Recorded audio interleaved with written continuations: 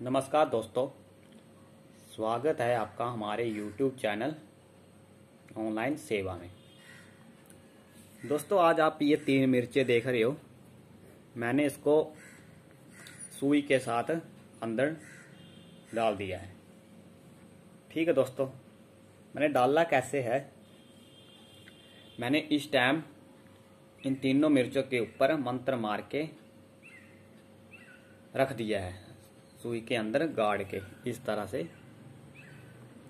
सुई के अंदर मैंने गाड़ के रख दिया है। ठीक है दोस्तों?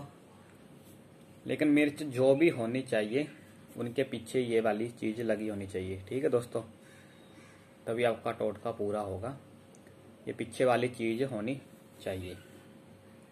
तो आपने करना क्या है? तीन मिर्चें ले ली है। उन तीन मिर्चों के ऊपर आपने इस मंत्र का जाप करना है। ठीक है दोस्तों?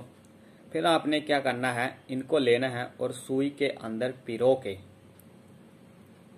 उसके बाद आपने इनको धागे से बाँध देना है। ठीक है दोस्तों? धागे के साथ इनको आपने बाँध देना है। फिर आपने क्या करना है? जिस किसी का भी वशीकरण करना है, अपने उसी धागे से, धागे के ऊपर भी आपने मंत्र मारना है। ठीक है दोस्तों? तो आपने इन मिर्चों को पिरो के एक बार जब धागा आप बांधोगे इन तीनों मिर्चों के ऊपर तो आपने इस मंत्र का भी जाप करना है छह बार। और जिस किसी का भी वशीकरण करना है, उसके घर के बाहर इन मिर्चों को आपने लटका के चले आना है। ठीक है दोस्तों, आपका ये टोटका पूरा हो जाएगा। अगर आपको इस टोटके की जानकारी पता नहीं चलती है तो हमारे नीचे दिए गए नंबर पर आप संपर्क करें। धन्यवाद। जय माता दी।